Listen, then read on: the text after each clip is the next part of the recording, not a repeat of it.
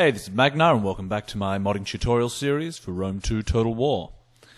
In this episode, I'm going to show you how to uh, mod the different Imperium levels.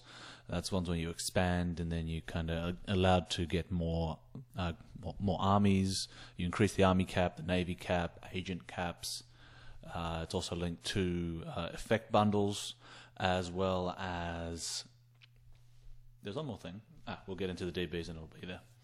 So the way this is all done is in the Fame levels table. So if we go into PFM, Data Rome 2 Pack, uh, and we go down to the Fame levels, uh, where is it? Fame levels tables. And here we go. So we've got the edicts, the, the province edicts caps. Uh, here, of course, you have the Imperium level, the different campaigns, and in this column here, it says tooltip goal, which is not correct. This is actually the effect bundle, which is assigned to that uh, Imperium level. It is not possible to change the effects of Imperium on different cultures. Uh, it's just uh, over the entire uh, campaign for, assigned to all cultures based on their Imperium level. And here at the top here, you can see the different types of things you can do. So uh, you can see here, this is how much Imperium, how much fame is required to actually reach the cap. So obviously starting at zero, you get to the first Imperium level, uh, and then depending on your uh, campaign, there's different Imperium levels for reaching the first level above that.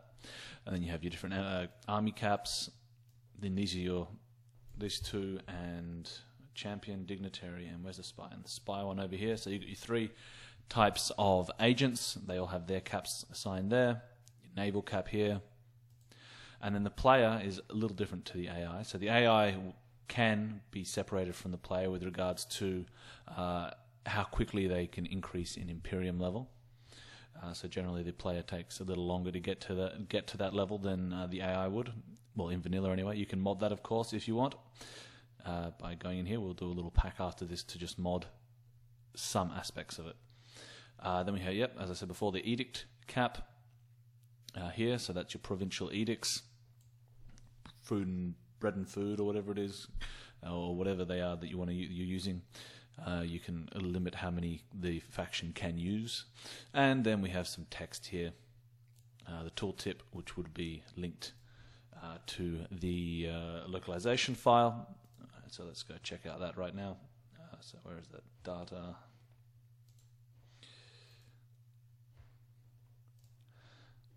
So the localization files, uh, this one here probably.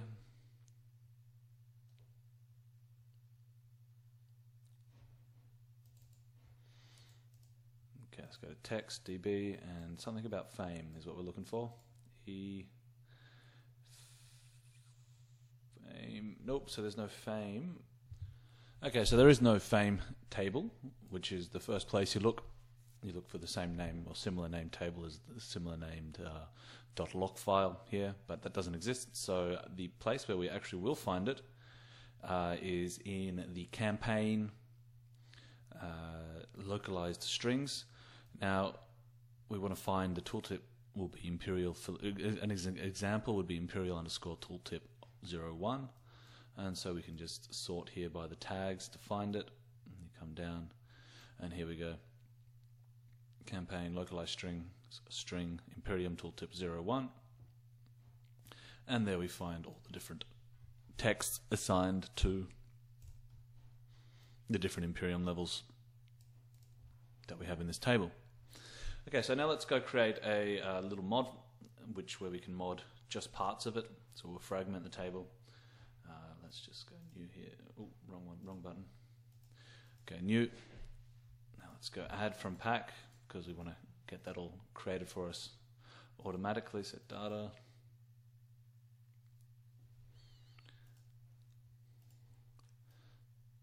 Scroll down to fame levels and right click that.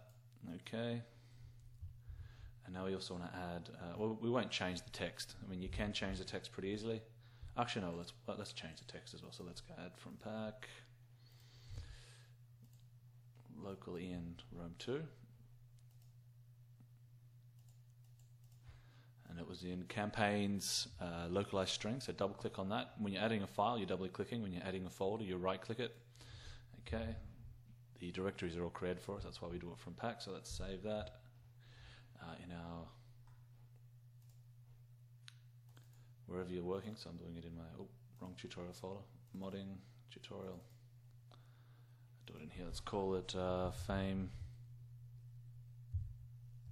levels. Yeah. Oh, let's just call it Imperium actually. Okay. Now, first thing I'm going to get in there and fragment these tables before I start working on them, and same with the text file uh, table.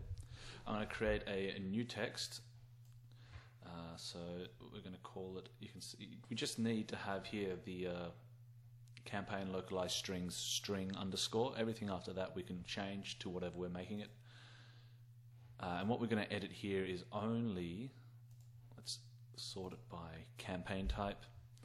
Uh, by clicking on the just clicking here, you can sort. And we're just going to take the main campaign so we'll delete everything else. Okay, so, okay let's save that.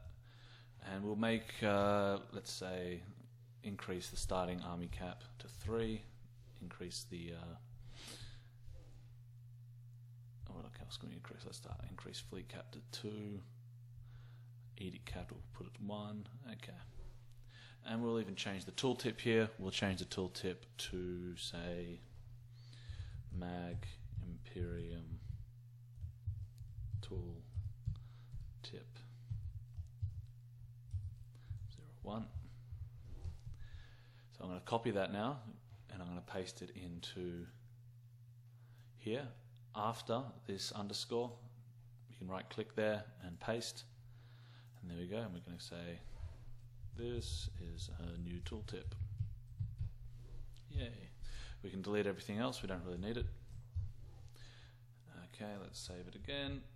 And lastly, uh, these Imperium these Imperium levels are linked to effect bundles. Uh, so we could probably even that's all uh, set out in the effect bundles to effect junction table. So let's jump in there as well. Uh, we'll create a new effect bundle. So that's all in data Rome 2. So we're going to create our own custom effect bundle here, uh, assign some effects to it. So let's go down. To do that, we'll need the effect bundles table and the effect bundles to effect junctions. We're not going to create any new um,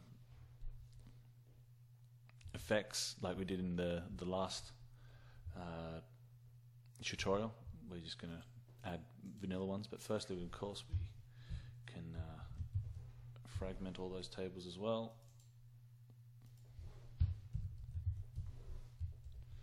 And save. Okay, so we've got our new effect bundle we want to have. So let's call it Mag Imperium 1. I'm just going to put the first one. I'm not going to bother with the others. Okay, let's jump in here. Okay, so the effect bundle is what I've typed in there. So I've copied that. So the effect bundle key is here. Uh, I'm not going to screw around with all these different icons and such that are in here. But uh, let's just delete all that.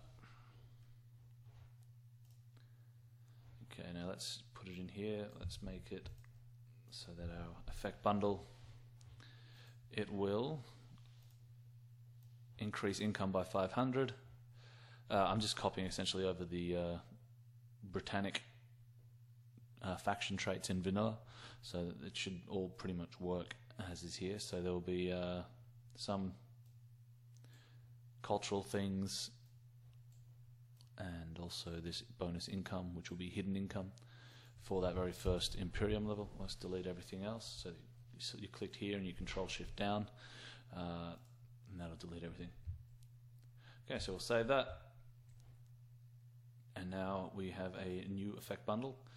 Uh, we probably need to add in the actual text. So this description here doesn't actually show. The description will be read from the localization file. So we'll grab that also from the uh, local. Ooh. from here, and this will be in the effect bundles dot loc is what we're where I'm expecting it to be. Let's see if we find there it is. Effect bundles. Let's add that. Now the effect bundle here is uh, localized. Okay, so copy the key. We'll come in here. Localize effect bundle. Localized description row. Okay, so after the uh, underscore here, so we want this part to so it's assigned properly, and we'll just paste that in. This is an effect bundle text. Okay. Okay, so there's another one here. Uh, we so with the effect bundles, we have two types of text. We have the uh, the one we just did. Oh, where did we put it? Okay, actually, let me jump out of there and go back in. I have no idea where I just put that. Let's do it again. Okay, description, paste. And now it's this is an X uh, effect bundle description. Good. Now, because we need something else here, I'm just going to go down like this so I can um, take the last effect tile. Oh, here they are. Let's just grab one of these. Okay. Okay. Effect bundle tile title.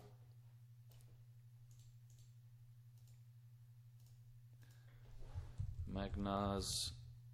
Uh, effect bundle title. Yeah, whatever. Okay, so the rest can be deleted. So let's Control Shift down, and that's what we get. Save it. Oh, we have to uh, fragment it as well. Now we can save it. And we have a little pack we can load up, which we'll do now, and uh, check it all out in game. Okay, here we are in game. Now we have to pick the grand campaign because that's the only one we actually modded. Uh, the other ones will have all vanilla, and we're going to pick. Uh, let's pick someone small just to ensure that we are on the uh, Imperium level zero. If we pick someone big, we may have enough uh, provinces or some regions to automatically go up to the next Imperium level, and we won't be able to see uh, if it's actually worked. So I think maybe Carthage may start at level 1, I'm not sure exactly. Okay, here we are in game, and uh, we go into uh, our factions window, get that to pop up, and we can check out our Imperium level. I believe it's in politics, perhaps? No, summary. Okay, so here we can see we've got our armies at 3 and our fleets at 2 as opposed to 2 and 1 as we had before. And here we can see the Imperium level is now changed to uh, Magnaz effect bundle title and we go in. This is an effect bundle description and that's where it, how it all works. And you can see the uh, effects there that we've added. The income is clearly not there because that was a hidden uh, effect but looking at our income, you'll see that it is actually uh, taking effect. It's just not displayed. And that's all really there is to know about uh, modding fame levels and all that kind of stuff. So thanks for watching, and I'll catch you next time.